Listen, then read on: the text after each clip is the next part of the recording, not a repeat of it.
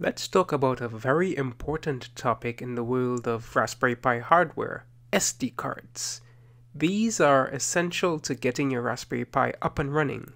They are what the OS or operating system are installed on and contain all the data, configuration, and software needed to make your Pi function. What we're looking at here is the downloads page from the Raspberry Pi website. As you can see, we have a variety of operating systems that we can choose from.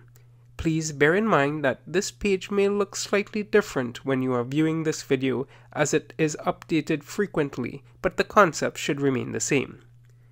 First, we see Noobs, which is a collection of OSs catered for newbies, then the ever popular Raspbian, which is the most installed OS for Raspberry Pi. Scrolling down, you can see we also have some third-party operating systems that we can choose from. Here, we can see versions of Ubuntu to choose from, Windows 10 IoT Core, which at the moment is the only Windows-based OS created that runs on Raspberry Pi. Then we have OSMC and LibreELEC, which are distributions that serve as media entertainment centers to collectively store, organize, and distribute your movies, music, TV shows, and photos. So, what's a good guideline for the capacity in terms of size of the SD cards that you will need for these distributions? Here I've created a summarized breakdown for you that can serve as a guide. Noobs, Raspbian, Ubuntu, and Windows 10 IoT Core all recommend SD cards with at least 8 gigabytes of capacity for successful installation and operation. Of course, if you can go a little bit higher with a 16 gigabyte or even a 32 gigabyte SD card, that would be even better.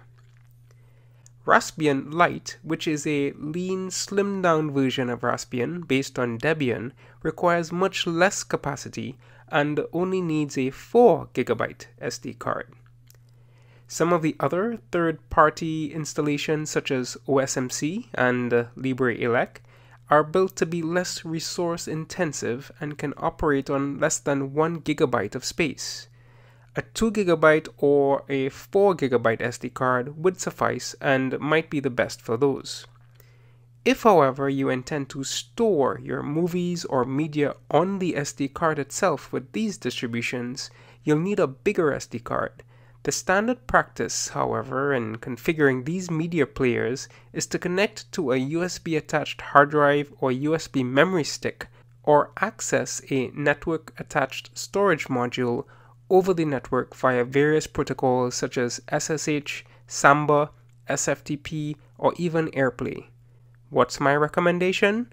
Well, I say go with a 16 gigabyte SD card which would allow sufficient storage and flexibility for any operating system of your choice.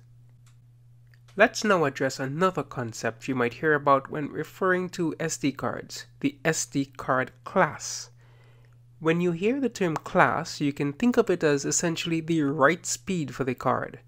As an example, a class 4 card typically writes at 4 megabits per second, whereas a class 10 card can conceptually be written with speeds of up to 10 megabits per second. Now, you may think that a class 10 would always perform better than a class 4, as the write speed is faster. This, however, is not always the case because write speed is achieved at a cost to read speed. Faster write speeds usually imply longer seek times, which affects the rate at which the data is read from the card, resulting in slower performance. What's my recommendation here? Well, for later versions of Raspberry Pi, it's better to go with a Class 10 SD card. Windows IoT Core, as an example, requires a Class 10 card. Overall, a class 10 should give you the best operation under most circumstances. Older models of the Raspberry Pi may typically operate fairly well on lower class sizes. Let's now talk about the physical size of SD cards. There are two main sizes that you have to look out for. They are the full size SD card and then the micro SD card.